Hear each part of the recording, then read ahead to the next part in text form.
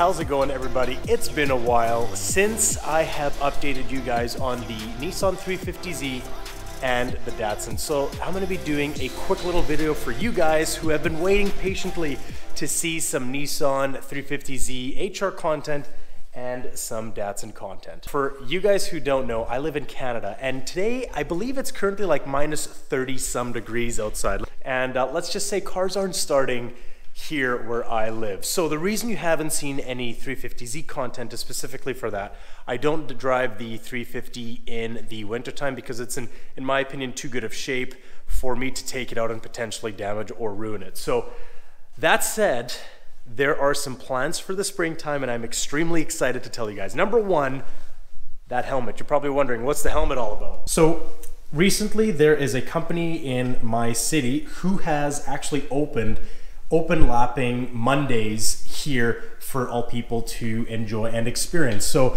what they required is that you actually had a Snell approved helmet, which I do have now. The thing is though, I'm actually going to be taking the 350Z on its first ever track day and you guys are gonna come along with me and experience everything from the day we take it to the track, uh, onboard footage, everything involved in the race day you guys are going to see.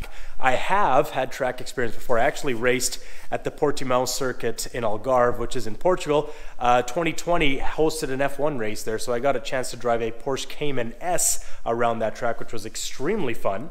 So we're going to be taking the 350 out for the first time ever, and I'm super, super excited for that to come. We're going to be doing some modifications to the car. I've already purchased a couple things that we're going to be adding as soon as I can actually work in this garage and not freeze to death. So lots of 350Z content coming in the springtime. I promise you guys that. Now, what about the Datsun? I did buy something for it, and it's right here. I bought a five speed transmission. It's used. I have no idea if it works, but in the springtime, we're gonna be installing this as well. Uh, I do need to buy a couple things for it. Uh, as you can tell, this, I believe that's a clutch slave cylinder. I could be wrong, but um, I'll obviously have to replace that. Or if the one that's currently on there works, I'll just swap them there.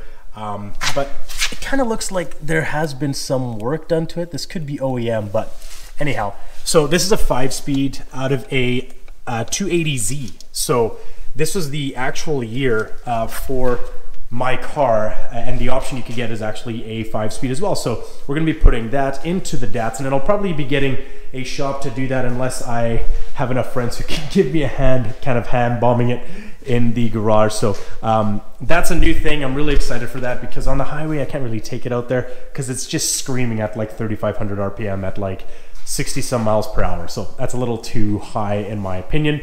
Um, but aside from that, we're going to be doing a couple more things. Those boxes you see right up there, where it says AutoZone and stuff, those are all car parts. So a lot of car content coming.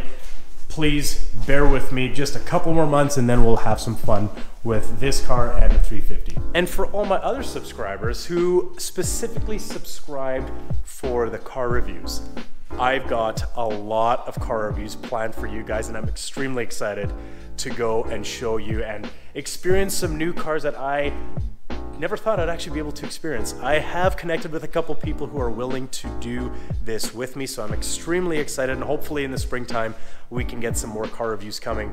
I can't really tell you which ones they are, but they're going to be some real fun ones for all you guys to watch. So lots of car reviews coming in the future. Lots of work coming for the Datsun, the 350 track days. I'm really excited for this year. But again, because it's a little cold right now, let me show you just how cold it is. Okay, so that's frost.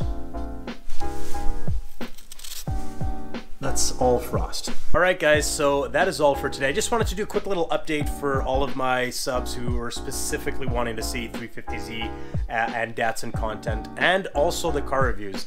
Um, so lots of exciting stuff coming this year, and as soon as the nice weather is out and ready to cooperate with my cars, there are going to be tons and tons of videos this year. Super, super excited for it.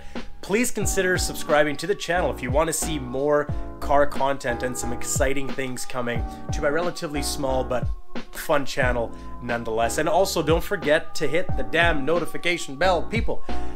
almost 800 subscribers, which isn't a lot, but y'all aren't seeing all my videos that I'm posting, and I'm doing, I'm trying to do at least, one video a week.